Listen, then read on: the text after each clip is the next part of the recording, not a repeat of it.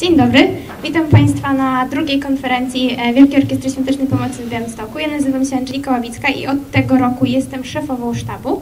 Bardzo mi miło jest też powitać e, pana rektora Politechniki Białostockiej, e, pana Lecha Dzienisa, u którego dzisiaj gościmy, tak, i Politechnika od wielu lat, dokładnie od siedmiu już, współpracuje z nami przy organizacji finałów.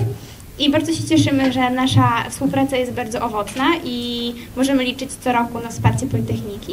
Po raz siódmy e, Politechnika Białostocka będzie brała udział w e, Wielkiej Orkiestrze Świątecznej Pomocy.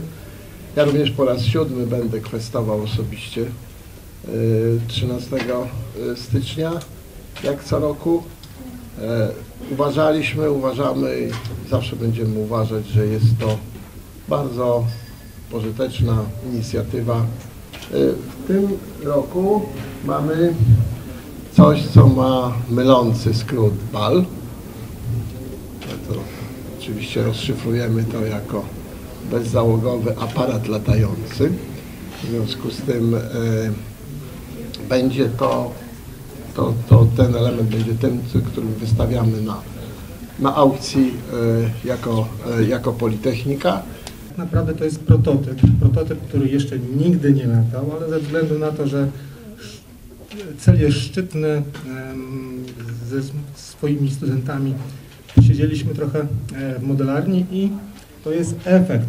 Zabrakło troszeczkę czasu, żeby to oblecieć, żeby to wyregulować, ale ewentualny późniejszy e, licytujący nabywca czy mm, zwycięzca tej aukcji, który wygra ten samolot, dostanie w pełni wyposażony samolot z napędami, z bateriami, wyposażony w serwomechanizmy i, i mam nadzieję, mam nadzieję, że mm, będzie miał z tego, z tego samolotu dużo frajdy i dużo, dużo radochy.